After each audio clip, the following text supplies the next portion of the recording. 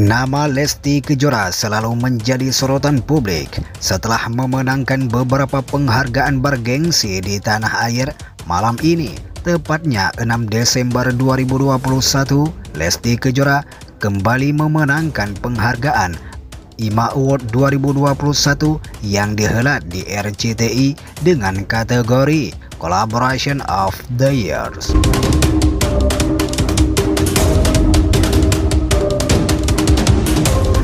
Pada penghargaan tersebut yakni Collaboration of the Year, Lesti Kejora berduet dengan Pasha Ungu dengan judul lagu Bismillah Cinta.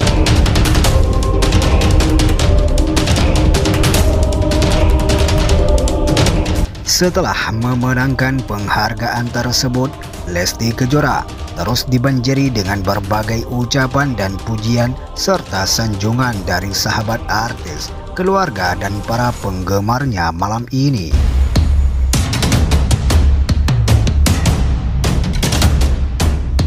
Tak lupa pula, Pasha Ungu juga ikut mengucapkan selamat kepada Lesti Kejora usai memenangkan penghargaan tersebut.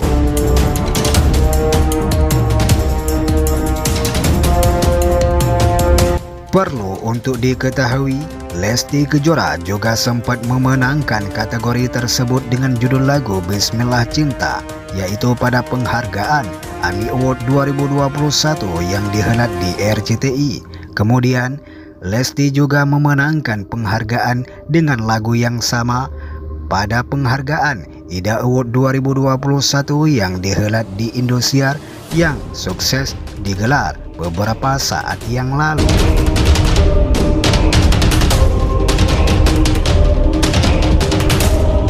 Sontak kabar ini menjadi kabar yang begitu bahagia terkhusus bagi Lesti Kejora, suaminya, keluarga serta penggemar Lesti yang selalu setia mendukungnya selama ini.